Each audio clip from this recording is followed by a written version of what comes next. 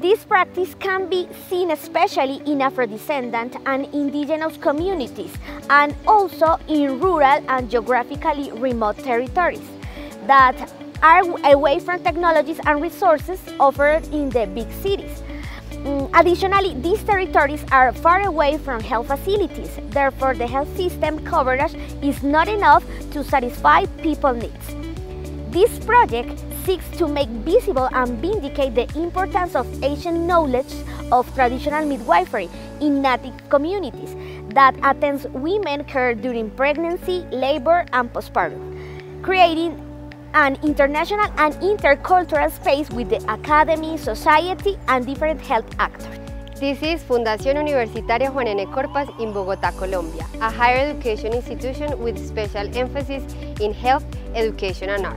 Hola, bienvenidos a la Corporación Universitaria Minuto de Dios. Buscamos el desarrollo de competencias interculturales en la educación. La Universidad Simón Bolívar ofrece un cordial saludo.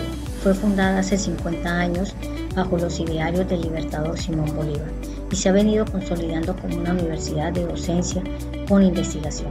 Con este proyecto, la universidad confirma una vez más su misión institucional con la formación integral y la educación.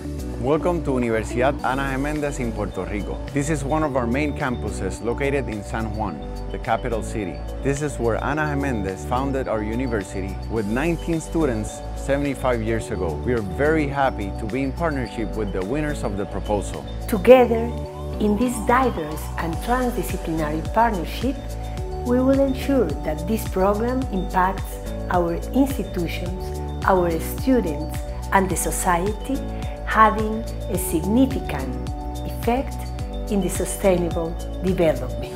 We would like to thank partners of the Americas, the U.S. Department of State, MinCiencias in Colombia, and CAF for this wonderful opportunity. Muchas gracias.